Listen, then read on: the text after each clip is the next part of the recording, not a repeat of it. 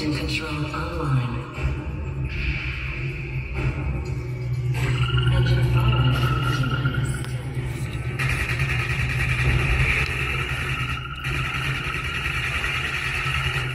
Three, two, one. Engine firing initiated.